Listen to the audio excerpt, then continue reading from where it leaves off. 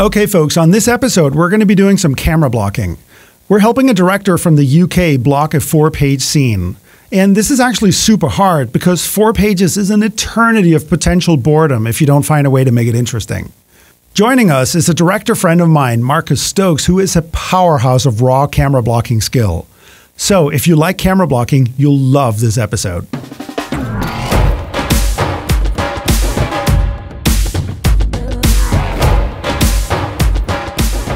So, on the episode is Tristan Ofield, a UK director who's had a lot of success on the festival circuit with especially his sci fi short White Lily. And helping us is Marcus Stokes, a TV director on shows like Criminal Minds, Arrow, and Roswell, New Mexico. And before that, he was visual effects supervisor or CGI artist on an endless parade of blockbusters like Star Wars Episode 1, Spider Man, The Matrix, and lots of other things. Prep Show is brought to you by Hollywood Camera Work. Check out Directing Actors, a huge course that teaches you how to create strong and deep performances. Remember, you can stream as a video show or listen as a podcast. And remember to like and subscribe to get notified of new episodes. Okay, hi Tristan, how are you? I'm good, Per. Thanks. holding holding up well, like everyone else. Yeah. So um, we're going to work a little bit on uh, on a scene for a thing that you're doing. Can you explain what that thing is? I don't. I'm not sure I fully understand it yet. Okay, so I've been working on a web series for the last few months. Um, it started off as a kind of basically a practice ground because I wanted a bunch of shorts that I could practice working through the masterclass and then directing actors. And I didn't want to have to wait for what the next project was going to be. Um, so I convinced, I knew I couldn't write an entire series myself. So I convinced nine of like nine writers that I know to contribute material towards it on a shared theme and and the theme is guys having conversations about girls. It's almost like a, a, reverse bechdel test. So they could write anything they wanted as long as they wanted as short as they wanted but it had to be guys talking about girls in some way. Okay. and so so we've got uh, three episodes in the bag already that are all very different. Um, it's an anthology series so these it, are these are shot these are yeah, I've got three that are already shot, okay. um, and this is going to be the fourth. This is the first one that takes place in a different time. Um, so this is a period piece. This is set in the late 1960s in Oman. So I I got the screen uh, the the scene up here on the screen, and. Uh, it's a pretty long scene in one location. That's going to have its own kind of difficulties. It, it does. See, um, I'm heavily influenced by a show called In Treatment, which was um, a Gabriel Byrne show, and the mm-hmm. whole he's a therapist and the show the episode never leaves his office it's like um, the patient comes along and then we have like a little play for for 20 minutes in the same place so yes being in one space does present issues but at the same time you have different areas of the room that you can kind of move to and create mm-hmm. scenes within scenes sure. if you want um, I kind of don't want to overdo it. Basically, what what I have blocked, I am happy with. I would shoot it, you know, tomorrow. But you know, it's always interesting to see what somebody else's perspective is, and you, I find I can always get to a more interesting place when working with somebody else than I ever can if I'm working just solely by myself. Um, so you know, let's kind of let's start afresh and, and see where we end up do you want to explain the scene? Like let sure. let's not do so let's not do a read through if you just want to like explain the scene and just the major beats in the scene. Yeah sure. So we're looking at this is between two officers. Uh, this is set in a tent on a base in oman. So it's two officers uh, captains knox and captain austin. Um, they're both exactly the same rank, but they have a different status. Um, Captain Knox is a base officer. He's the new one of the new base uh, administrative officers. So that means he's, he's a desk jockey basically. And then Captain Austin is a medical officer who goes out to the front line as well as working at the base. Uh, generally, base officers are sneered upon by frontline troops. They're referred to as REMFs, which so stands for Knox. So Knox is a base officer, and Knox, Austin is a, a frontline. Officer. That's right. Are these guys? Is Knox a superior? No, so they're both exactly the same rank, but they have different jobs. So, on in terms of operations on the base, that's Knox's territory. And that's and in this case, Austin needs something from Knox. So Knox is brand new, he's only just arrived. Austin has been in country for about a year or so. Um, and the scene is a, a mixture of, of acceptance and respect. Knox wants to be recognized by Austin as a proper, quote unquote, a proper officer. And Austin needs something that only Knox can grant, which is a signature to allow the base to have a swimming pool. Because the country is about to open up and oil companies are coming in, and oil companies have secretaries. And they're all guys out by themselves and they haven't seen a woman in ages. So they think if they get a swimming pool, they can start inviting secretaries round. okay. And so, um, but you were saying that they need to pretend that it's something else. Yeah. They, so they are in uh, a Muslim country, and also, and so to start with, they can't really specify the reason for it. Also, they're on a military base, so asking for a swimming pool isn't really would be frowned upon. Um, so they have to disguise it as something else, and in this case, they're disguising it as a, a firefighting water reserve tank. Mm-hmm. Um, so, but let, let, me understand the dynamics of the scene. So, Austin has to ask for this or get the signature, basically without revealing what's really going on. Yeah, so he has he to like dodge it. Yeah, he doesn't know Austin. Austin's sorry, he does. Austin doesn't know Knox. Knox is new. So to begin with, he's trying to put one over on him and see if he can actually sneak it past by just disguising it as a water reserve tank. Okay. And, and, the dynamic from the other side, from Knox's perspective, is that he doesn't feel like a real soldier because he's an administrative dude. So he like he like needs some props. He needs some recognition from a real soldier. That's correct. So to begin with, he tries to ask Oscar, Austin whether he can come out on the base uh, patrolling with him. Yeah. Uh, Austin turns it down because Austin basically doesn't want to get the guy killed. Um, because his snobbish view is the guy's not a real soldier. If he comes out with me, he's going to get killed, or worse, he's going to kill me. Okay. Uh, so Knox realizes then, once he realizes what's actually happening in front of him with the request, the way to get respect and to gain the respect as being quote unquote a, a proper officer is to grant the request for the swimming pool. Okay. In the meanwhile, we've been joined by Marcus Stokes. Hello. Hello. Good morning, everyone. yeah.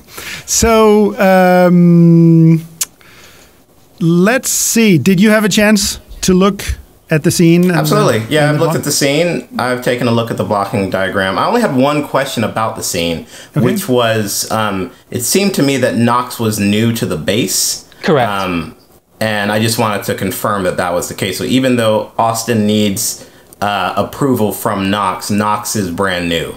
Is that correct? That's 100% correct. Okay. So I had a couple of things that, that bugged me. Um, can I can I bring up some negatives? Sure. Some potential negatives. That's that's wait, why wait, I'm wait. here. Before we before we hop into that, yeah. like, are you are t- Per? Are you talking specifically about the blocking or this was about the blocking? I, I don't feel like okay. an I don't feel like an intrude on the scene. I don't understand the scene well enough sure. to judge it. Let me um before we do that, if you don't mind, Per, sure, can we just ahead. get Tristan to just sort of like run us through this blocking diagram? Okay, absolutely. And Tristan, it doesn't have to be super specific, just so we can get an idea of how the camera work is supposed to be supporting the um, uh, the the script. You know, you just we're, we're planning on doing this and doing that. It doesn't have to be like this camera is this and this camera is okay, that. Just sure. give us a general idea so we can kind of place ourselves okay. Okay. in in your scene. Let me understand. The goal is still that we're gonna uh, like reboot our brains afterwards and then try to do one that may or may not incorporate these things. Or are we trying to extend this one here? No, no, no. The goal is just to understand what this represents. Okay, good point. Um, all right. Well, where do you want to start? Okay, so I mean, the scene starts with the two chaps already sat. Uh, they sat either side of a desk inside a tent. So this is okay, over so, here, right? So this is this stuff. Uh, can, is my mouse moving this? Well, this is. Uh, you can't point. Only I. Okay, so this, so the two, so you've got, uh, you've got your desk, and then you've got a red and a blue. Right. Yes. Austin is red. Trist uh, Knox is blue. That is correct. Mm-hmm. Okay, so uh, so Austin is sitting with his back to the door. Okay, um, so we've got the cameras that are grouped sort of directly around them are pretty much shot reverse shot. So we've got over the shoulders and we've got a pair of internal reverses that match. Um, halfway through the scene, let me think where I've written it down. So halfway through the scene, there's a beat. It's when we it's when we start moving the conversation towards the actual discussing of the swimming pool. Um, the cameras, all the cameras, the internal reverses and the um, over the shoulders, all cross the line at the same time. So we've shot Okay. half the scene on one side, and when we change the story beat at that point, we push on to the other side. I'm gesturing with my hands, and I have absolutely no idea why. Um, and then the, okay. the green cameras that we've got on the left hand side of the screen, uh, we've got some static cameras there that are just there for covering the uh, the postman when he comes in. Okay. Um, to and then can in- you really quickly talk about um, the the the movement of Knox, right? The blue guy. He Yeah. starts seated. Uh, does he stand up and sit down? Is that the, sh- Yes, the that's short what. move? Yes, that is. That's a stand. It's a stand up and a sit down at a point, and then he walks over to he walks over to the far side. There's going to be a table with some. Uh, some table with some glasses on or something. Correct. think To do the drink, to Yeah. do the drinking glass, and you know what? Whoever reads this scene is going to understand all this. I just, you know what I mean? Like, so it's not super complicated in general. A pair, you can interrupt me anytime. No, you- no, you go ahead. to. Go ahead. You got it. um, in in general, um, when I when I use do blocking diagra- diagrams, and I always do them in in Shot Designer, so I'm very familiar with what I'm looking at. Um, the, really, the number one goal of this is to inform yourself and then to inform the crew, and I find it very hard to read this diagram Okay. right? And what I mean by that is there's too many cameras on the page. So- Specifically, let, let's take one really basic examples. You've got your over the shoulders and what you're calling an internal reverse. That is camera 3B, camera E, and then on the other side, cameras D and C, Wait a second. right? Cameras E, camera B, right? On, middle on of the one frame. side, over the shoulder and close up on one side. Yep. And then you've got the sort of corresponding shots on the other side. Sure. So number one, um, and again, I'm just trying to clean the diagram up so people can see it, people can read it. I don't believe you need both the what you're calling an internal reverse is a reverse with inside the um, the person, meaning one camera's over his shoulder, It's one camera's closer, but it's the same camera position. Right, so I don't, I don't know that you need both those cameras indicated. Uh, It Shot could Designer be. allows you to um, just add another version or something. Yep. Fair enough. The way that I do it is I just would go, so camera E in particular, camera E is an echo. It says OTS on Knox. Yeah. I would have a second version below that that just says tighter. Right? Cool. Right? Yeah, yeah, yeah. And fine. that means that, or you could say single Knox or whatever. Right? yeah. Um, the other really quick tip that I would give you is even though it's kind of um, indicated on the um, on the diagram which shoulder he's over, I always indicate it in my in my diagram. So some of these notes are just general, like the way that I've been using. Um, the way that I've learned how to do blocking diagrams and specifically with Shot Designer um, to make it clearer to my AD, my cinematographer, whatever, right? And initially, you know, people are so used to seeing like really ugly sketches in pencil and not really understanding, oh, we do blocking diagrams, but nobody looks at them, they're just for the director, right? But as I've been doing more and more shows and using this uh, software, at a certain point, like right after we, um, right before we do our rehearsal, everybody comes around my iPad or my printout or whatever it is. I like to have a printout just because it never runs out of battery.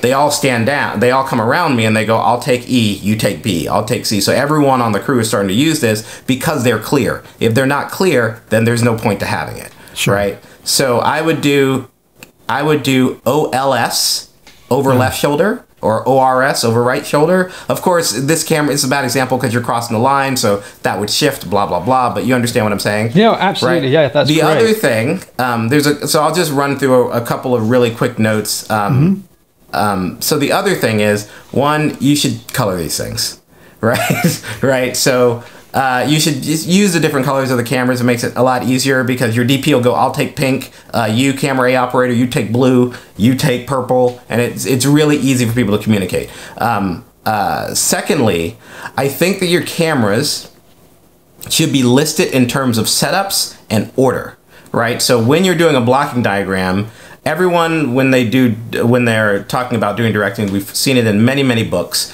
right where they're like i don't know exactly what my coverage is going to be but i know how i'm going to start the scene i know how i'm going to end it right? We, we've all heard that probably before mm-hmm. right? So you should kind of know what your opening shot is and your ending shot and your camera should be laid out in that order. I'm not saying it's not because we haven't really gone through it but the thing that sort of um, the thing that I always indicate on one of my cameras is where the reverse is. I'm sorry, not the reverse, the turnaround, right? So, for example, let's say you're starting looking at Knox. So looking from the door toward Knox, right? You would start with maybe I don't know, maybe you're starting with uh, the big tracking master there on the bottom. Mm-hmm. Um, I can't camera. Camera, camera A. A. Camera A, yeah. So maybe you're starting with camera A, right? And that was obviously it's translating, so it's a little bit weird. But you're probably going to have a master in there somewhere that doesn't cross the quote unquote line.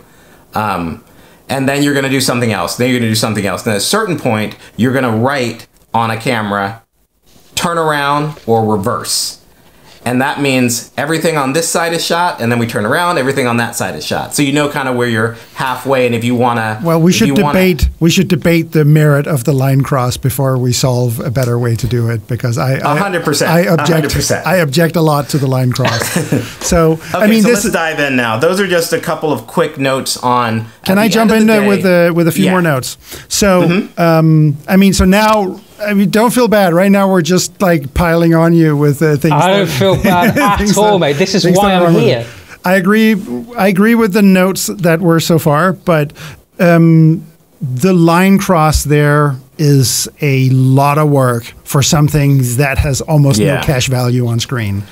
You basically have to shoot the scene twice you to have, do that line. Well, cross. it's not just that. It's that at, okay. At least if you could decide which camera is the camera that's going to carry you to the other side, then that's the only one that would have to be a tracking shot. But to do that difficult tracking shot four times and only use one of them, I think that's too extravagant. Um, okay, so the well, so you would suggest if it's not the actual move, it's the merit of the move that you're you're incensed by, it would be all right. Choose. it would be no, I, I, all right. No, no. It'd be it'd be choose. If you're going to do this, choose where you want to be, who you want to be looking at when you do the line cross, which camera it is, and just do it the one time.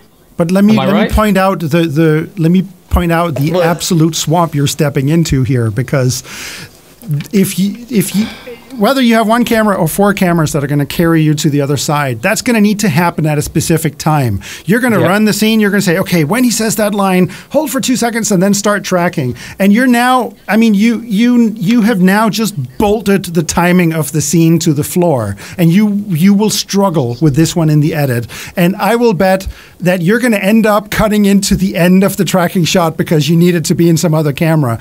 I mean, the the worst part is to lock down the timing of the scene by just putting like a concrete brick in the middle of it there and say, I must be in this camera right here.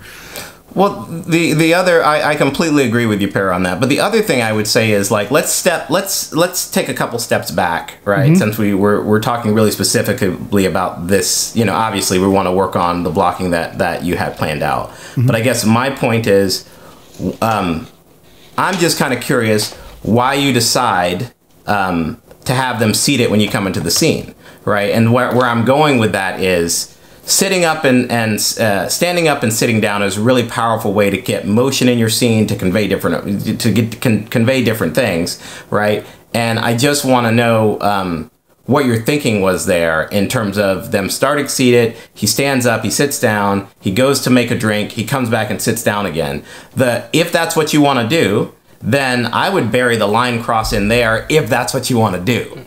Right? Do you know what I'm saying? Like one part of the scene happens when they're sitting down, then they stand up, and as he comes and sits back down, then we move across the line. I'm still unclear on the merits of moving across the line on this scene because nothing also, you, that you dramatic have a, is happening. So you have a great point with not being started sitting down, sitting down because if one of them is kind of uh, a little bit trepidating coming into it. I don't know. Am I? I'm in somebody else's space. You have no way to illustrate that if they're already comfortably seated. Like there's no way to put your hat in your hand and walk in and be a little bit nervous if they're already seated. You because it is some it is one person who is in another person's space and Right. and you miss out on the opportunity to show that don't you I, to be honest, I thought that would actually be carried from the fact that it was going to be very. I was going to. I was thinking about dressing them differently in the sense that I was thinking of putting Knox like basically in a vest and shorts to show that it was, and with his bed behind him in the shot, whereas um, you've got Austin framed with a door behind him. So in, in my head, it would make it clear as to whose space that they were in. However, the the this is a in this it, scene in its nature is very static and one of the reasons i wanted to come in on the show was i thought do you know what i'd like to strip this away and i'd like to see what the opportunities are for movement within this so what, if- what I would, Yeah. what I would, the only thing I would caution you about that is actors have a tendency to move toward comfort, right? Mm-hmm. Meaning, if you sit them down, it is very difficult to get them Get up. them up again. I mean, you can tell them to get up, right? But now you're nitpicking them on Yeah. this line. Stand up, pick up the glass, blah blah blah, right? If you say, for example. Um, and I'm again b- bad example. Knox is busy doing paperwork, you know, doing paperwork. He can't see the door, right? Or he's organizing his bookshelf, or he's whatever. And Austin, um, Austin interrupts him, right? Now they're both standing, and then he can go, oh, take a seat, and then he can sit down. Maybe Knox remains standing while he's sitting down. That shows a power dynamic. Maybe the opposite. Maybe there's just a lot more opportunities, some of which you'll discover on the day, right? Hmm. But if you just sit them both in the seats, I mean, I really think when you get into the edit, you're gonna be concerned, right? Yeah, and and you're gonna be like, when are they getting up? When are they getting up? When are they getting up? Then, if they're seated, then that means something, and you've made a conscious decision. so to have sitting down is a beat now Yeah. Well, one of the other things that I, I was keen to come on is is that. And now I've just totally lost my train of thought. I'm sorry, I it's yapped too much. no, no, not at all, not at all. Um, I like. So, would you say, like, for example, if if let's take your idea, Marcus, of, of, of having you know Knox say he's rearranging his books and um, and Austin comes in, then you're kind of giving the actors the opportunity to say, okay, well, when you feel right, Yes. I want you to take a seat, and then you can build the kind of blocking from there. Absolutely. Is kind of that what you're saying? That's how that's how I do it every day. Okay. I'm like, I'd like you to start here, you to start there. At some point, I'd like you guys to remain to, to take a seat, you know. Uh, but feel free to fix that drink. Feel free to get up when the bottle comes in. Feel free, and then you just sort of discover it, right? I just don't want you to have a plan so rigid that it leaves no room for discovery. That's all. You know That's what I mean? great. Well, what I I would not like just to do. not just discovery it's actors are plus minus 10 seconds on every timing like i mean the closest you can get to a timing is somewhere around that line and so for example if you need dialogue to fit with a camera move like that you are you're in for a world of hurt because it's it's really difficult to get that and you're not going to get it and then it's going to be really difficult to edit so Yeah, I mean, and, and in general, like the general rule about crossing the line is there's nothing wrong with it. You can do it whenever you want, but it needs to it needs to be generally it tends to be a moment of uh, a big moment or a reason why he someone is like when you cross the line things look a little weird right? So as long as whatever's happened in the scene is a little weird or a little different a little off or whatever then you can motivate it. I just mm-hmm. didn't see anything in this particular scene that justified crossing the line. And i know you're like i want to do i want to insert some directing into it but i feel like there's a lot more movement that the actors can give you than just sliding the camera and leaving the actors where they are. Can so I we can always we resolve the what to do with? I mean, are are you super married to having that line cross in there, Tristan? Are you kidding me? I, I actually thought coming on, I thought the first thing we were going to do once we talked through the diagram was literally wipe it clean and start again. So Yeah, I'm no, happy. well, that's what, sure, that's sure, what I'm ex- but that's what I'm expecting. So yeah, shred it. Let's start Okay. from scratch. Okay, good. Well, that's, you- that- if that's you- good. if- so we now cut four hours out of your shooting day just by not having that line. No, mate. Well, that's the that's the one thing. Like, I wanted I wanted to see if there was a if we could find a developing master that would work that we could then fill in with other cameras, or whether that was not the way to do it.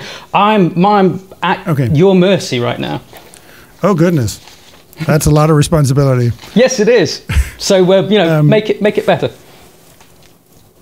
So, um, How many how many cameras are going to be on the shoot? How many cameras Just do they the, have? just the one. so one Just at a the one, time. okay.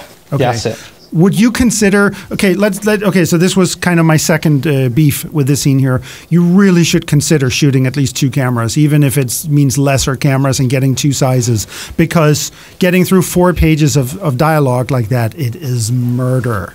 But I, I, that genuinely doesn't concern me. I've s- I've done this a hundred times. Well, it's not that. It's that the scene is that long, and in order to get each of your angles, the, the, the actors need to keep washing over the beats and washing over the beats until they're anticipating the whole thing. With a scene this long, their performances are going to get worse quickly. Just Yeah, because, the second the second camera is going to allow your actors to not burn out. okay. Yeah. So I, I, I 100% agree. You need as I, I would say uh, a scene like this at least two, maybe three, right? If you can afford it. Three is It pushing depends- it, but I would Yeah, consider uh, course, happily consider two for Yeah. the sake of the acting. Definitely. Two, two is I think two is a minimum for for a four page scene if you're trying to actually get through it and you know you've got to you don't have all the money in the world. You know what I mean? Mm-hmm. Okay. And especially if you're doing this with more or less the same lighting setup for everything, it's really. I mean, cameras are cheap. I mean, unless you're unless you're shooting with ARRI cameras, you can get another one and just get somebody to hold hold the tripod and and you'll be so happy. Yeah. Okay. Good. So, what do we want to do? There's going to be a table over here.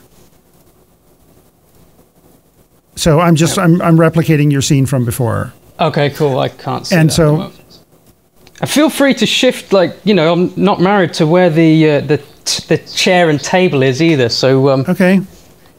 I mean, it feels like that's where it would be. Yeah, it feels like that's what it'd be. Add a little desk to the corner, just dupe that table and shrink it down a little bit, Per. Okay. So Put it wherever you think it might So be. So you want to put know. a table like what here? Um, I don't know, wherever we think. You know, I mean that that the um the beauty of a table that small is when you're blocking it, you can move it wherever you want. Okay. But I would Okay. I would assume that you would want that table to be on the other side of Austin, so that the so that Knox, if Knox is the one making the drinks, am I correct about that? yeah, uh, if he's gonna go and get my glass, I think. Let me double check. So, So let me just Yeah. point. So this is Austin who. Correct. Okay. So if the table's on that side, then you know he we get to look at his back as he goes over there to make the drink, and so you can have some turning and things like that. Do you know what I I mean? think it's actually Austin that goes to make the drink. Let me just uh, give this one a name because he gets because the Yeah. bottle gets delivered to him. So I agree. Yeah, up. if it's Austin that makes the drink, then Yeah. there's even more reason for it to be on his side of the desk because you you don't want to invade Knox's sort of uh, castle. yeah, correct. I, I wasn't paying attention. I was saving. What did you guys conclude? Uh, you, the table is correct where it is. Okay. All right. So this is Yeah, like it's a, Austin a- that gets a the glasses, whiskey so- table somewhere. Yep. Yeah. Okay. Good. Um. So Marcus. You want to know? Yeah, you want to know what I would do? yeah. Go ahead. I would start. Um, I would start. I'm gonna make I the normally tent a start with the basics, and then I try, and then I look at it, and then I try to make things a little cooler. Yeah. But I'd put one camera outside the door looking in, okay. and then one cam, and then a secondary. Um, so make both of these green because this will be like setup one. One camera will be there, Mm-hmm. right? So you can see maybe the door open, or maybe him do an entrance, and then one camera lower lower corner inside the room, and that'll be your master. so you mean here or here? Yeah, uh, to the first position. So you can shoot them at the same time, right? Boop boop, right? Oh. Okay. Good. So now you get an, you get an entrance, you get like a grandiose, a door opens, you see Knox as a door cracks, you don't know who Austin is yet, blah blah blah. Um. Yeah. Okay. And so this one here, we're gonna make a uh, master. Right. Ish. And you can you can you can put a move on that if you want it to to sort of keep his sort of spirit alive. You could track that directly. What's a move? Like towards them or side to side? I would go side to side. Okay. Good. So this is a master ish. Yeah. Okay. Good. And I and I would um I'd make it go more um horizontal on your screen so it gets clo- a little bit closer to them as it goes, like something like that. well, you know I, what I mean? I get that, but then if you want to go back and forth, then it's pulling suddenly. It's and- pulling focus Well, or pulling. no, what? no. Well, I mean, so it's so it's pushing first, and then at some point it reverses direction, and that means if we cut to it, then it's going backwards now. Yeah, of course. Yeah. yeah. And and if you have multiple takes of that master and you cut to them, then you're suddenly going yo-yo. forward. Yeah. Suddenly, then you're gonna you're gonna start yo-yo. Yeah. well, it's not just that you're going to be cutting from forwards to backwards to forwards, and I mean, I yeah, think I call I call that yo-yoing. okay. so right, because it's going up and down, up and down, up and down. how much of that survives in your edits?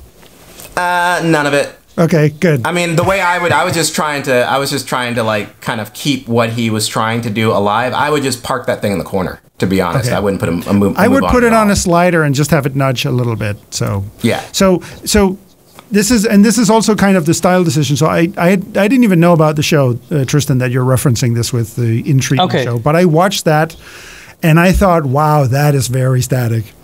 It is, but but the uh, it's different because you've got such heavyweight actors. It's Yeah. not about the it's not about the camera work at all. No. Um, but they get really long runs of their takes, and the performances are fantastic. And it is it's extremely static. And I was kind of concerned that maybe what I had already done, with the exception of the line cross, um, it had just fallen into this flat area of shot reverse shot, which is why I wanted to see if we could find more life. I mean, and I guess it movement in does work. But I think once they start moving, that problem goes away. Yeah, I, I once agree. your with you. actors start moving, then the the whole like master single single that problem I think disappears Okay. when you when I, you start using the. Actors. I have an idea for a shot, and so this is what I. So this is also a blocking technique, which is uh, when you have an idea, just put it in, and um, Yep.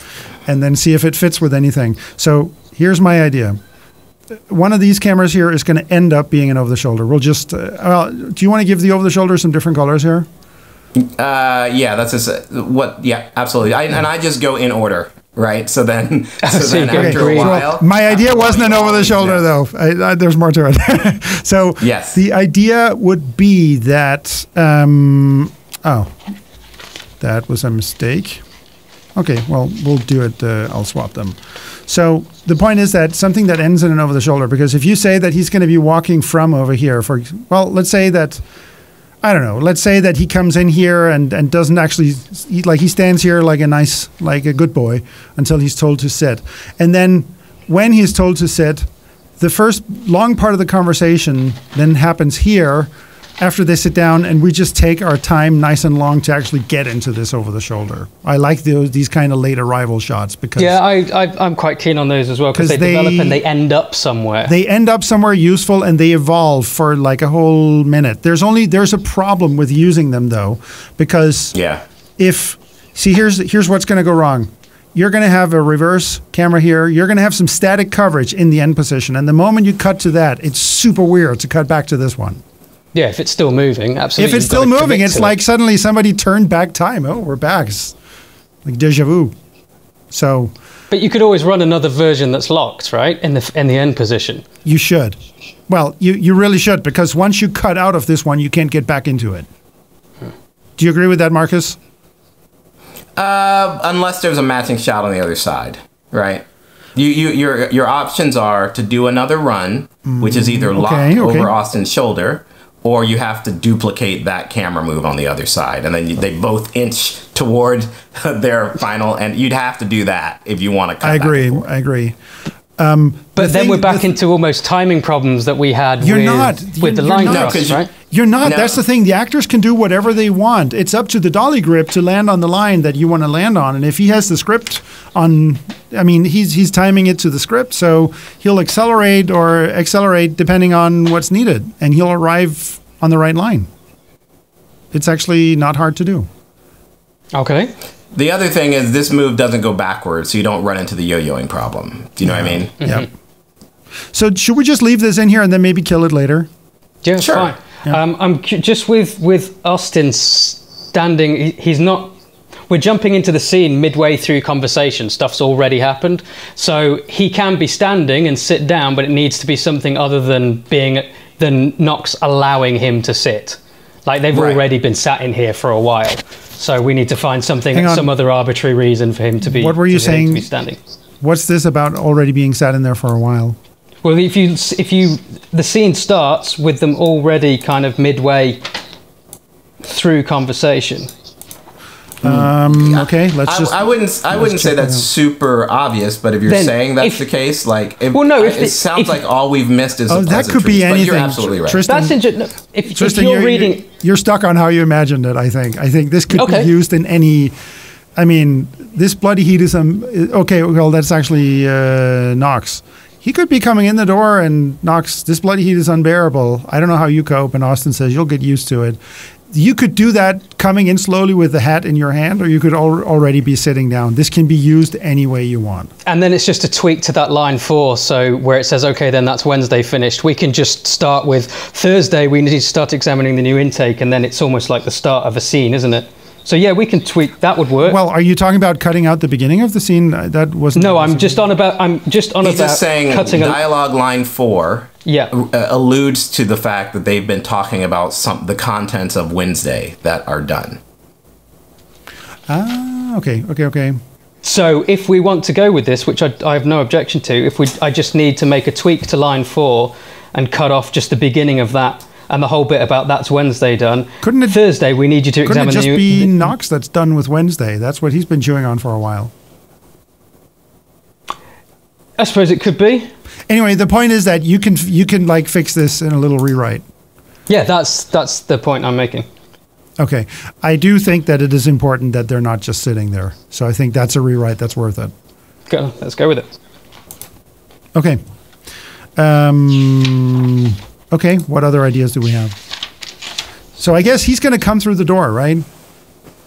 I don't see why you wouldn't have him come through the door. Entries and exits are always really cool. I Yeah. mean, they, they help you sort of Yeah. cinematically. So I'm going to have I him don't- walk from out here. Does he come like down through a hall? How, what's outside? Uh, Outside is is just barren. Um, it's just base outside. So he's Oh. not in a corridor. It's just he's walking straight into. It's going to be either a tent or a bunk And a, a bunker. Okay. haven't Well, then yet. then I'm going to do a, a creep towards the door that's a little slower than he walks. Those are nice. Okay. It's a it's what I termed a sympathetic move. That it's drifting in the same direction, but not as fast. But no, okay. And do you like? I, I like this character's move. Do you like this move, I'm good with it. Marcus? Yeah. Okay. Where do you? Does anybody have an opinion on where he should end up? I mean, Uh, standing. from I, this move, from walking in, or what? From you walking in, yeah. I would have him not walk as far in to begin with. Yeah. I'd halve that distance. Okay, sure. Yeah. So he's in somebody else's space. Yeah, exactly. And that means we could probably put Knox away from the table doing something else already. Okay, I like that. Um. Well, actually, I don't know. Does it give him? Well, we're not trying to create authority for this guy, right? No, we're not. But we're I, we are trying to set up the fact that there's something that has taken place before this moment in time. Sure. So um, perhaps if there's the if it's the line about the heat, then let's have him. I know he's he's he's washing or sponging himself down, trying to remain cool. Okay. There's a fly here. Get out of here.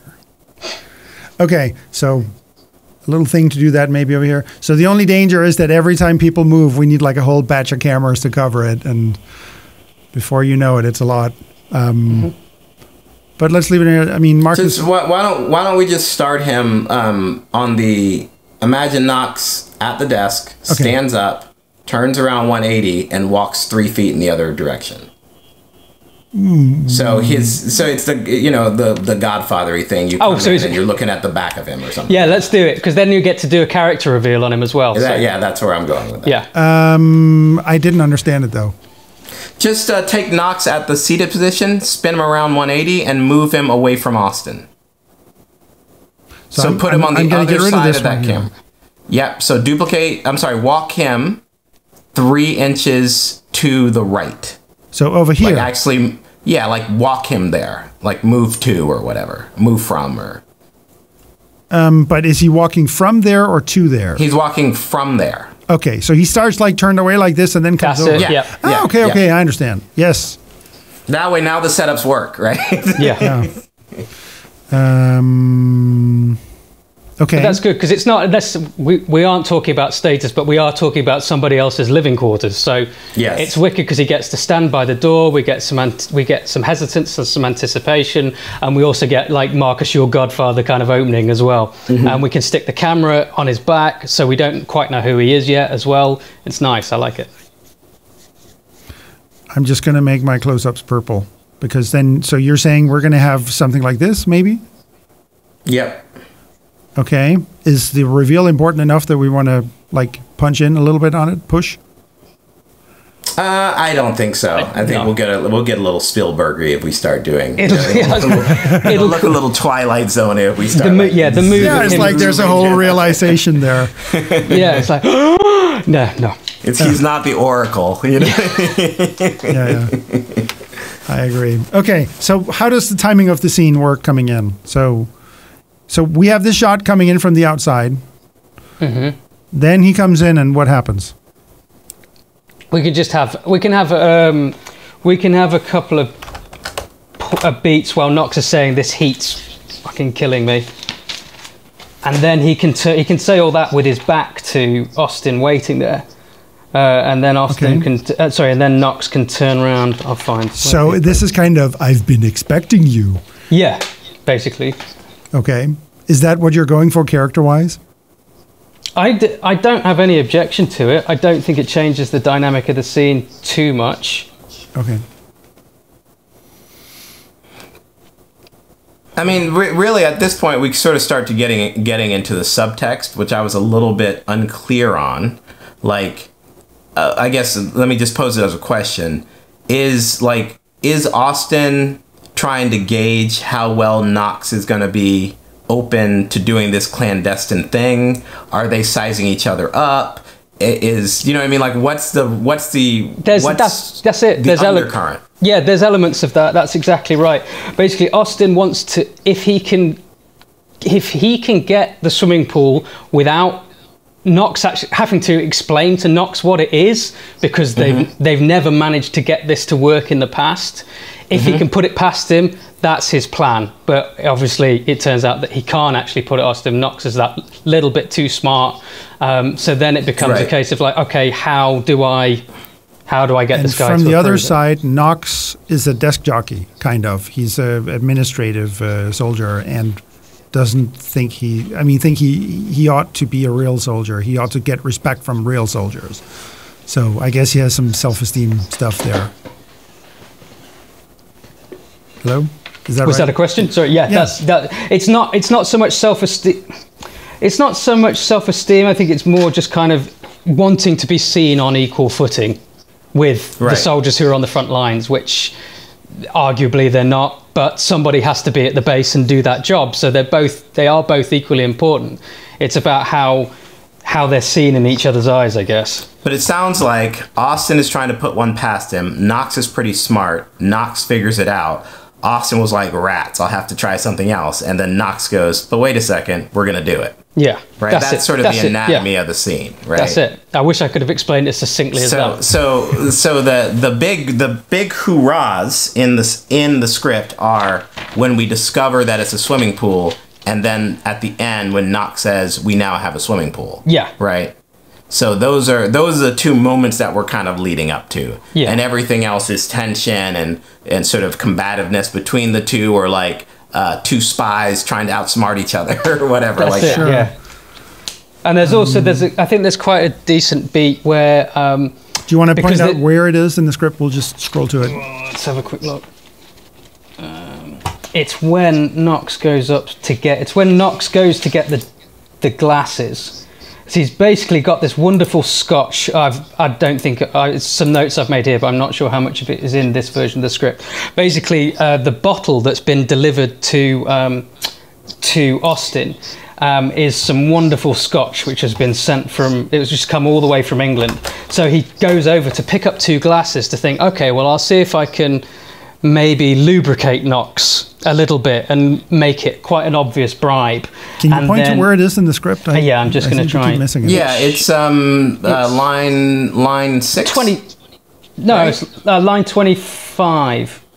Okay. It should be what I want to see what line Okay. six is now. Yeah. Interesting. So you that's Oh, yes, why that's why we need the getting glasses thing in there. Yeah. Is there a mood what's the mood change around this place in the script? How do you mean? Sorry, Bird. The- well, I mean they're gonna the, the whole I mean they're sitting down before this, right? And then Yeah. he gets up. Oh, Au- wait, Austin gets up. It seems it seems weird that Austin is fixing a drink in Knox's office to me. Yeah, it is. It's him trying to take control at that point. Okay, yeah, we can make that work. It can hold up because does the bottle get delivered to Austin or Knox? The bottle gets delivered to Austin, so it. Okay, so then we're Okay. okay. Yeah. Okay, okay. So he's kind of like, look, he looks across, everyone's got, they all drink. So Right. um, he looks across, he sees the glasses, and like, right, I'm going to open this here and offer him a glass and see if I can kind of get him in that way. What's Knox's reaction to Austin kind of making himself at home here?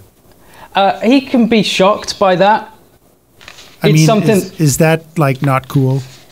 It's not. I think it's something that an officer he wouldn't expect that to happen, but the officers who've been in country for a while. Um, all kind of not necessarily rifle through each other's stuff, but they're extremely familiar. They're not bound by those kinds of formalities. So Knox would be surprised by it, um, but Knox also refuses to take the drink as well. So it's kind of like, ah, damn, I've tried that. That approach has failed. Shit. Okay, but okay, but practically, it is Austin who gets the glasses. Then Yes, it's Austin that gets the glasses. I think I may have. did are I- we saying the glasses are over here? That's a that's a that's where we said it was, but that's a question for for for. him. Sure. I don't really have an opinion. I mean, my, my opinion is more technical. That that's like a lot of cameras we have dotted in different places, Mm-hmm. and uh, and that bothers me just because. What But I would would- do, I, I- I think all you'd have to do is put the table. You'd mirror the table on the other side of the door, right? Use a use the center line of the scene, right, as the mirror line, and bring the table toward the blue camera. The camera that creeps in over Austin's shoulder. I was Mo- sorry. I was just going to do an an axis line, but I forgot where this is. It here? No, it's not here. Where's the axis line? It's on the camera, I believe. No, it's on the the- characters, but uh, axis line. Oh, yeah, too. you're right. But if I can grab it here, then I can disconnect it, and now I just have an axis line. Okay, so this is Yeah. like roughly. We're trying Sure, to stay you- on this side unless we're just sneaking over So there. if you just mirror the table, the table that you just walked him to, So- across that axis line, So we now we're in here. our same coverage. Now we're fine. Yeah, you're right. Also, yeah, I guess maybe it's a little. I mean, obviously, you look at the diagram.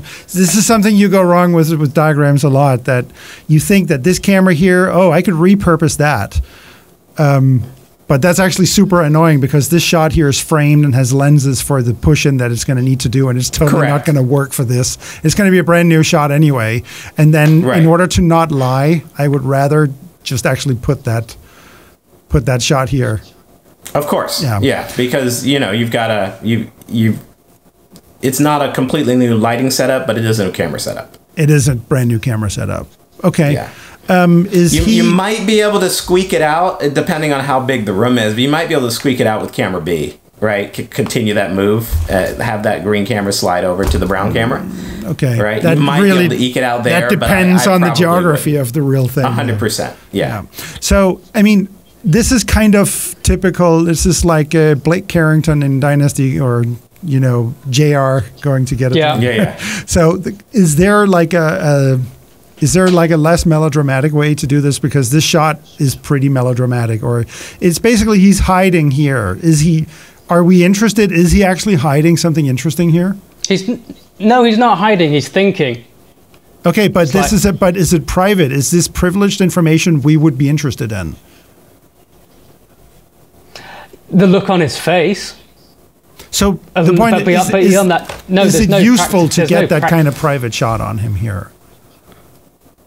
I think it's useful. Um, I think it's useful not in the melodramatic sense, but I think it's useful to one see both faces, right? See the difference between uh, to see Austin thinking about what am I going to do with this new plan. Uh, I hear you on the Jr. Melo- melodrama of, of it all, but I think it could be useful and useful for the actors. Can I ask, mean, are- I would are give it a were- try. When you said that, were you thinking of this as actually a deep staging shot with him in the background? And maybe Uh, like wanna- a, a yeah. focus rack? Yeah, I'd want to be able to see his face. Okay, so like we're we would like be shooting along an axis line here, and we're tr- going to try to get both of them in the shot, and maybe do some interesting rack focuses, like he this guy thinks a thought, and then we rack focus back, or the other way around. Correct. Okay. Um. Yeah. Okay. Good. There's also a line. I'd want Austin to turn back to him at some point as well. So I'd want to see a camera that catches that turn. But hang on, he's coming back right away, right? He's getting glasses, right? So this is just no, very says he, brief. I'd like the option of him having some dialogue. I've written dialogue which you don't have in the script. There's a little bit of a little bit of talk about the quality of the scotch before he turns around to offer him the glass. But he could walk back to the table and offer it and not say no. I was just trying to get away from the table. So I'm I'm starting to feel a little bit of a Dynasty and Alexis thing if we stay here for too long. Uh, uh, um, um, it's so- not something that's worrying me. Okay. I think they are. I mean, uh, well, this is my philosophy anyway with these types of shots is that they really do work, but they burn in really quickly. That they become melodramatic in two seconds. But if you just kind of casually come through them and then move on, then you get their whole effect, but without the kind of the icky feeling of of staying in an overtly melodramatic, like a, Yeah. a Well, what I, what I think is, uh, I, I agree with you, Per. What I think is, as soon as Austin turns back to Knox, the problem goes away. So Yeah. it's really not an issue of his position in space; it's his orientation. I get right? that. Meaning, I, I get that. But as soon as he turns, this is also just regular coverage, like a camera here. Like, I Um, mean, I- see, I mean that- that that would just then be like a camera here and a camera here, just shooting them. At that point, it's just conversation. But I, I, there's got to be moments where that's going to happen, though, right? Sure, I'm just trying to group that around one place, so we don't need Sure. too many like duplicate all the clusters of coverage. Could we start the deep staging shot that we've got, the orange one, the the one that's looking at um, Oh, that- Austin's face? Could we start with that tilted down on the glasses and tilt I up? was going to say in? that or crane up or something. Yeah, but yeah, something. Oh, boom up or something. Yeah. Yeah. So unfortunately, this one became camera C now, but this is. Uh, I'm just going to call this one the deep staging shot. And does it show the descriptions? It doesn't. But um, hang on. Um, we're just going to say that that's going to tilt up. These things again, they're a little tricky to use because they're in the middle of the scene. Like we're not opening on it. Like opening on this would be super obvious, but you need to time. I mean, because there's going to be conversation, and then he starts walking over there. Then you're going to cut to a camera that's down and then tilts up. It's almost like you're restarting the scene in the middle. I mean, it Perhaps, works, but, but it you, is- you have to be is a confident about the timing. I- it is a completely. It's a completely separate part of the scene, though, as well. So I think visually, it's, it punctuates that quite nicely. I mean, Mm-hmm. we don't necessarily have to cut to it as it's on the glasses, but it would be nice there as an option.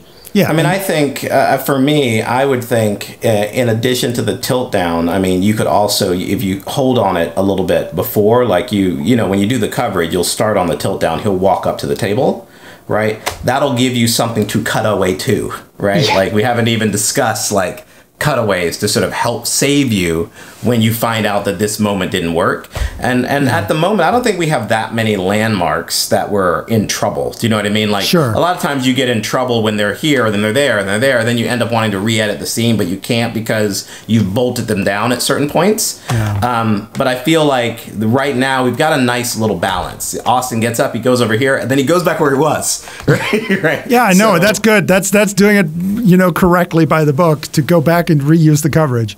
So, Mm-hmm. okay, so but we are so you were saying we are going to have some conversation while they're here, right? Yeah. Does he stay seated, Knox? Uh, yes, he does. Okay.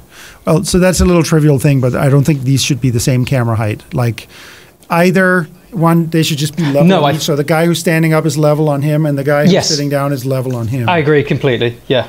Well, it's either it's not- again, or, or, or it- put well, it's not a- like halfway. It's not a status thing, so I'd like each of their own cameras at eye level. okay, I agree.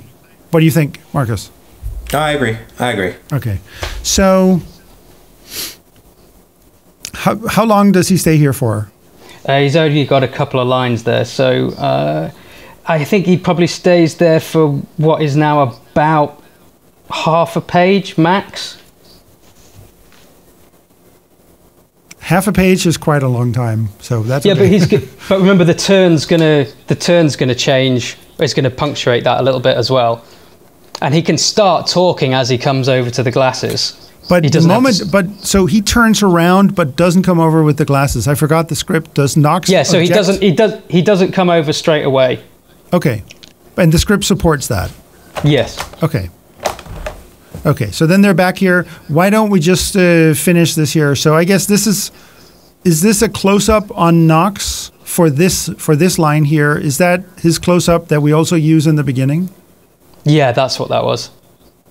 So remember, we had this. Well, he's standing up here and then he sits down. So then this camera would be shooting up in the beginning. Or we could just settle settle with him. You could be boomed up, and then the Yeah. you, you can just drop. Yeah, the, let's do that. So Because if it's looking up at him and he's facing away, that is too much. so it's boom down and then uh, close up, Cool. right? I mean that's what it is. Um, probably put it over here. Yeah. Um, okay, and we need like uh, the counterpart Yeah. for here. Then Yeah. these guys. So I still like these guys. So I think that we should like cover the first page after they sit down. We should just track slowly into it, but also get versions where we're just where we stay at the end. Okay. Mm-hmm. So yeah, okay. But I mean this coverage up here, so that's pretty normal. I'm a little. you, I mean, like the the two purple cameras that are on the desk. Like, let's move those to where you'd actually shoot that from. Right? I don't think you'd actually put that camera hover. You you wouldn't put an overlay. no, well, I, You know I tend mean? to draw them where you think them because in reality they're probably going to be shot like here. Correct. Yeah, you should. I I, I kind of feel like you should put them there so that the crew knows where the camera body is. Yeah. Even though we know, you know what I mean. So you're trying to remove the interpretation. So this is a discussion it, that I've had with a lot of people with Shot Designer because Shot Designer is basically right now in cartoon coordinates, meaning that Yes. it's there's there's no rhyme or reason, but the 3D version will be in in proper coordinates because it has to because it's a real 3D space. Um, Mm-hmm. So that's going to be that's going to be a given. But Marcus, were you saying you place the cameras exactly where they're going to be just to remove ambiguity? Well, I just a lot of times if if you don't do that, then your cinematographer will come up and go, "Oh, there's a diagram, but that doesn't mean anything." And you know then, what I mean? Then it's almost they'll sort of pointless. like dis- they'll sort of dismiss it. So you Right. start So to if you- reduce the credibility of the diagram, basically. Exactly. So if you put the camera where the camera can physically go without I mean you can put the camera wherever you want. There's there's grip equipment to do it, but clearly that's where you're going to shoot it from, so you should indicate it there. Well, the choice it just the choice for him is more if he's trying to get the camera on top of the table or on a tripod out here, and that's like a big difference for the cinematographer. Exactly. And like clearly i don't think we've had any discussion that would motivate us like let's let's jump through the hoops to put the camera right on top of the table. Yeah. so clearly we're kind of talking. It's it's there where it's indicated currently. Mm-hmm. and so i think you want it there. So when your dp looks at i don't know. For me it was always like a credibility thing. You Yeah. don't you know oh well you don't know really how the camera's going to be so that's just a cartoon right you know what I mean? yeah. I'm just I'm just being perfectly honest. You're trying to win them over. You want them to believe Yeah. that you exactly know your plan, and that plan should be put cameras where they're actually going to be as closely as possible. yeah. Okay, I I I agree. So this is looking, you know, pretty much resolved. You know what I mean? Yeah. Um, so the business coming in and the business walking over here, I'm not completely satisfied that, that there's good coverage on this. Okay. So Um, Like this, well, I mean, we have this one here. That's going to get him from the back. This one here could be used, like, for example, for the walk over here.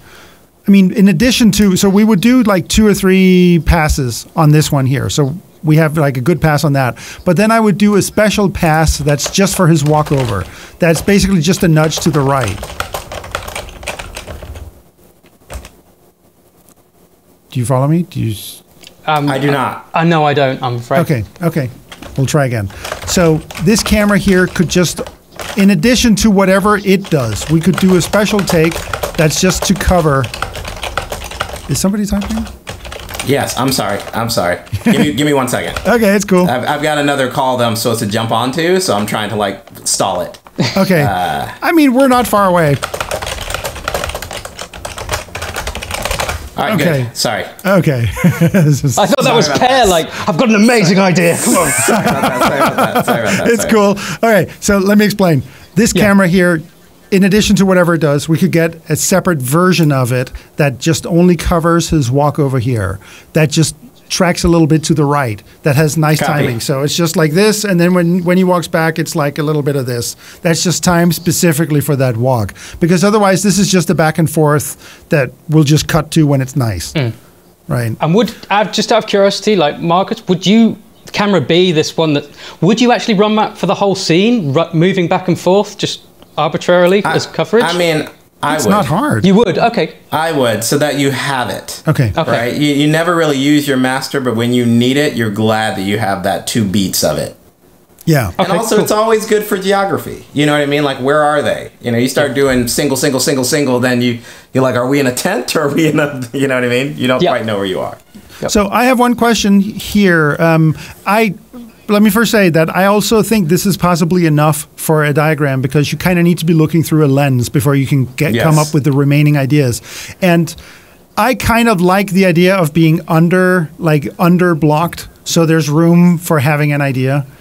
Um, or at least, or over block on paper, knowing you're not going to shoot half of it, but then it's just note to self for things you might want to try. So I think this would actually be good enough for showing up on the set. But I do have one question uh, because this is a terribly long scene. Go away, fly. Um, how are we? Like, are there some of these cameras that don't need to be recording the whole time? Like, for example, this master here. I guess you for this one you would tell the actors to you know please don't burn any energy. This is a master. We can hardly see you. A hundred percent. Um, I mean, the master is the rehearsal. Really, is is how I, I do it. I feel like when you're rehearsing, a lot of times they don't really take it seriously unless the camera's running. So I kind of use the master as a rehearsal, and I do it once, maybe twice, and then you have everything. You can't see really I've people's lips gotten moving and hurt things on a like regular basis doing that only because if if we're if we're shooting before we figured out like oh, all their micro business over here, then as we keep working, we invalidate more and more of the master until I can't cut to it anymore because now he's wearing a different hat. I haven't had that problem because it's not. I'm not saying we do the master in lieu of of of uh, rehearsal. Okay. I'm saying you do your rehearsal pass. Yeah. Right, and you try to work all that stuff out when you're in you're in the middle of them, and you're like blah blah blah. Maybe do this, maybe do that. Okay, let's try it out. They run it one or two times, and Okay. you just there's nothing left to do but go to start shooting it. Yeah. Right, and if you invalidate it, you should be invalidating it in the master. Yeah. Do you know what I mean? Like you should do your discovery. So when you leave the master, that's kind of what the scene is. Yeah. So don't leave the master until you can, and obviously there can be little bits that you discover and adjust. Okay, I agree. So But what I would say, um, let me really quickly pair. All I would say is I agree with you about leaving the blocking di- diagram sort of general, and this is just my own pet peeve. I kind of need to see the order we're shooting in, right? So we've got camera A and B. That makes perfect sense. The crew understands that. Then what? Then we do the blue one. Great. Is there something else that camera B can be doing when we're shooting the blue one? Can that camera C fit? Probably not, because it's really difficult to do anything else than camera B by itself. Because Correct. it- no, no, no, yeah. no, no, no. Camera, cam. I'm sorry. The way that I I, I use the um, camera one A, camera one B. That's Sure. How I do it. Hmm. You have a sort of a naming scheme in the software. let's see if we can do it just on colors because then I don't have to go label everything just so we can talk about it. No, no, no. Yeah. Of course, of course. So what I'm saying is, when you do the blue one on Austin side over Austin to Knox, is there anything else that can be shot when you do that? Probably not.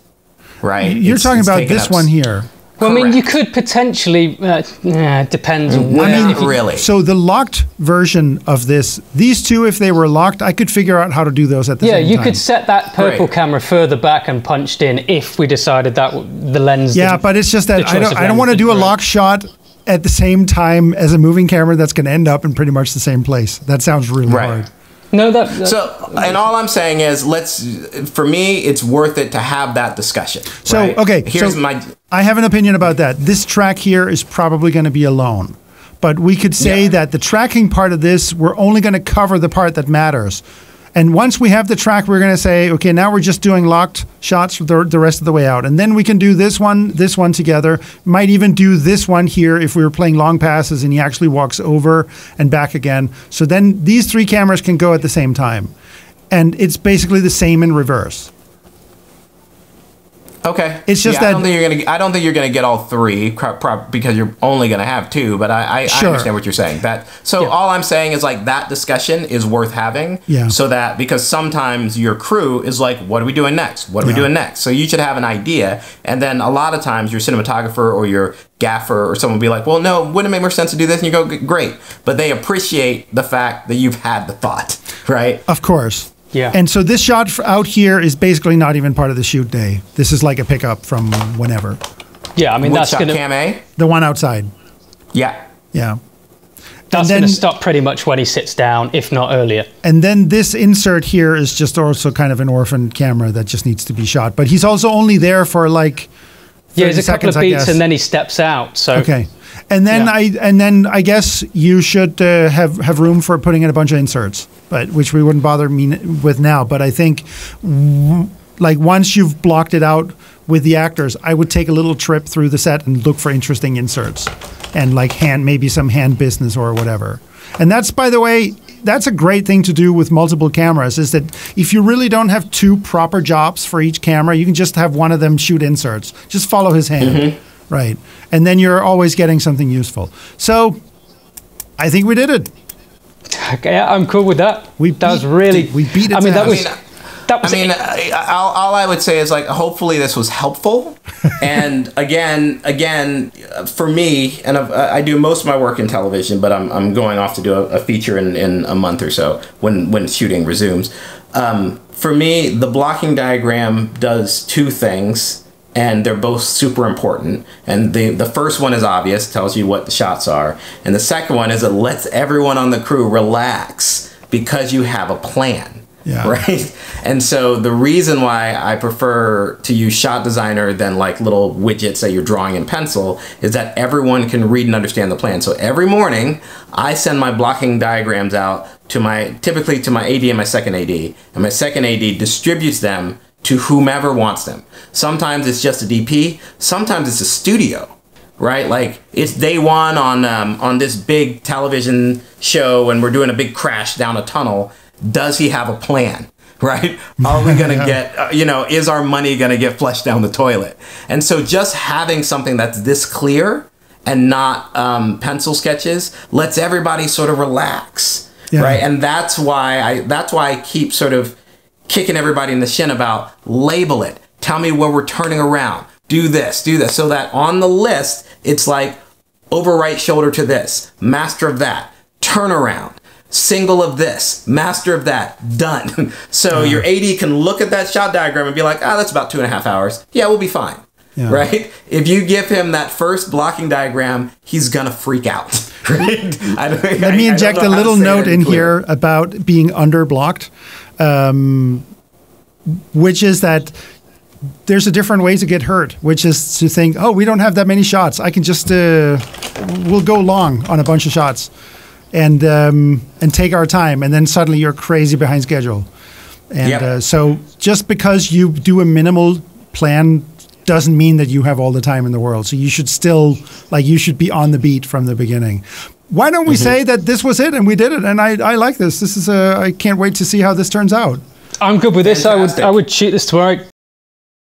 This is cool. So I think I think we did a good job on this blocking diagram here. I think that we I think we're capturing the scene much better than what you had before, and I also think that um, it's probably a lot easier to shoot. So um, I have a couple of notes. Just from a little bit of personal experience, you can you can throw this out if um, if you don't like it. But in terms of how you direct this with the actors, getting through four pages, four and a half pages of dialogue is murder. Like you you want to kill yourself when you're going through those four pages. And I think it's very important that that those four pages don't just become like drone words for you. That you're just okay, then you sit here and then you talk for four minutes or eight minutes because this is actually this yeah, this is like six, seven minutes of them just sitting and talking. I think it's very important that you are thinking subtext in this even more than you'd usually do. Like subtext that's different from the text. Um, what I mean by that is that people intend or have a different, uh, there's a different meaning behind it than what they're presenting. So that there's some that so that they so that it's layered. Well, yeah, the old adage is if two people are looking into each other's eyes across a table and both saying, I love you, I love you, and meaning it, you're fucked, right? Exactly. But the second part of that is that I think you should really look for ways to physicalize that. And for example, the example would be like somebody is somebody is like really confident and authoritarian, but it, but you, if you have an insert on his hand, he's doing like this with his pen, for example. Like that's physicalizing the subtext. He's not acting it at all. Acting wise, he's just being a hard ass. I'm not talking about this scene, but Yeah, just I'm- somebody I'm who's very strong. But then, like, it leaks out. Yeah, something places. that basically and- like a gesture that betrays the underlying feeling. yeah. It could also be in the timing. Like, let's say, for example, that somebody, so somebody disagrees with what somebody else says, and it's kind of, you would expect him to answer right away, but he takes some time to time to put ice cubes in a glass, and you're kind of waiting for his answer. Why doesn't he answer? And so there's all kinds of inner activity going on there that has nothing to do with acting. It's a choice. Like the difficulty is not in doing it. Anybody can do it. The the cleverness is making the choice that here I'm going to take my time to put ice cubes in a glass or before I answer this I'm just going to swirl the ice cubes a couple of extra times and that sends the signal that I'm not completely on board or there's something I would say if I could or that kind of stuff. And I think if you could physicalize the subtext, then first of all, you would get all your inserts for free. Like we talked about, once you have this scene here standing up and it's all rehe- rehearsed and you're ready to shoot, and you're now going to go around hunting for inserts. If you know how to physicalize the subtext, then all your inserts are already determined because you need to get that hand. You need to get him scratching his neck, whatever it is. Um, and that way, where you create a difference between the inner and the outer. Like if you could go through the whole script and just for every like half page for each character just says this is the outer, this is the inner, this is the outer, this is the inner, and then the outer stuff is the stuff that you're like capital A acting, like you're acting the outer, but the the inner is comes through in the pauses and in the in the logic of the scene and in how you're how you're handling yourself. Would that be the same thing as like a mask layer? Or would It that is- be different? It's a mask. It is a it is a mask. But so this is my personal theory that what makes acting interesting to watch is when there's a difference between the inner and the outer. Because when you're watching, like you're watching a performance and you think, wow, this is interesting. Aren't you trying to figure out what's really going on? Isn't Yeah. that why it's interesting? It's like he says he says that he loves her, but something about it seems insincere. Like it took him a second too long to say it. What's up with that? And now you're trying to read his the crazy logic that's in there. Like, or you have the the Cumberbatch Sherlock Holmes was interesting to watch because you're like, what the hell is that thought process out there that Yeah. results in this weird behavior? And you can watch that for episode after episode trying to figure out what the hell is going what's what's the thought process behind all of this? And i think that if you can itemize that and then come up with physical ways to show it which is by the way something that that a lot of actors really like because it's not the kind of touchy feeling oh tell me about the character's childhood. It's like do everything that you're doing now but hold the gun wrong and now you're holding the gun wrong and now he just seems uneasy with the whole thing. And it doesn't even take any acting. It the character comes through in how you thought it. Yeah, And- I mean, the great thing is as well as I'm actually I'm going to be doing rehearsal off camera to begin with. I'm, I want to schedule a whole day of rehearsal before Mm-hmm. this, maybe even more if I'm if I can like get the the cash together to do it. Mm-hmm. Um, and I really want I do want to explore the subtext because I agree with you. If you're if we're just in one room for ten minutes chatting, Doing this- text. This could be so stale. I mean, that's gun, yeah. gun to my head. Like that's the challenge I've got to get through. Right? I either have the audience with me or I don't. Um, so So we've, I think- we've got to I figure think- a way through it. I think you should change the rules for this right now. And then like right now you have the an idea of the scene and what's going on inside of it. Um, I think I think you need to give yourself a challenge or a permission to think way further outside the box. Like you need to go inside the script and fuck it up a little bit. Like Okay. how much can you ruin this without ruining it? Because you're going to find some really interesting choices like what if they have a crush on each other secretly? Okay, that's like a brand new thing that would produce all kinds of new activity. Um, what if Knox is the superior? What if Knox is? What if uh, Austin is the superior? I mean, I'm just I'm pulling stuff out of my butt here because it could be anything. It could be what if they have a crush on the same girl. Yeah, I mean, the idea is it, you just throw stuff out there and see what behavior it changes, right? And where Exactly. you end up. And Yeah. you're going to make mistake. You'll make mistakes when doing it, but you'll find some gold as well. And that's But that's that's the point is that we're iterating it the same way that that uh, that Silicon Valley would iterate a product. It's like it has a name in Silicon Valley. It's called failing faster. Like we know we need to get through a certain amount of failure as we're trying things, and the only way to get to a winning product is to start failing faster. And that's a great that's a great way to see it. Like you're not going to get through this without some amount of failure. You might just get busy with it. Right. And come up like come up with 10 ways that are definitely wrong. And Yeah. two of those you will think, "Hmm, this is not as wrong as I thought. That's interesting." And some of those ideas are going to grab you and now you're like, "Well, now I suddenly can't see the scene without it." Now that's the stuff I'm really looking forward to kind of getting under. This is also the only thing I've ever written that has dialogue in it as well. So this is this is really scary for me. Like, you So mean dialogue I mean dialogue at all or this dialogue of dialogue? at dialogue at all? I've Oh, so ever the other shorts that you did, like the sci-fi Oh, shorts, I haven't written those. They were submitted by by writer friends of mine. Oh, okay. I did So- not know that. I assume that. Well, well done. That's a good No, first no, try. thank you, thank you. But still, it's you. You. Uh, No, but you have ideas of how you wrote it, and then the part of the joy is then giving it to t- actors to see it brought well, to life in a different you need to do well. part of that work before you hand it to the actor. of course. Because he- here's the thing: um, a good actor will try to find crazy, unusual subtext, but many actors will just try to take your text and be as faithful to it as possible, and that's going to kill it. Okay. like you because you can't be sure that an actor is going to take your take your text and then basically reinvent reinvent the whole brain activity of the character which is what you want like and even if they could i don't think they assume they have their permission so if you go there first then they're going to realize that you're totally on board with this way of thinking and then they're going to follow you there but you need to be crazy first okay. That's cool. So- So, basically, you want me to come in and fu- basically and fuck it up first. Well, the thing is I'll that we call it we call it fuck it. it. up, but that's only from the perspective right now of having a little bit of a rigid understanding of the scene. It's for you to get out of your box because it seems other ways of seeing this scene seem crazy, but once you're out there, they seem much more plausible. Hey, this is actually much more interesting, and it's going to change the scene. But now you're going to have layers. You're going to have all the stuff they say, and then you're going to have all the stuff they really mean. Yeah, And I mean, so- it's going to live or die on that, isn't it? Basically, the camera It- work's for not going four- to save it alone. four pages of dialogue are going to slaughter you unless there's some inner activity in these characters. There's the challenge. It, it is so hard. Like even two pages of dialogue without.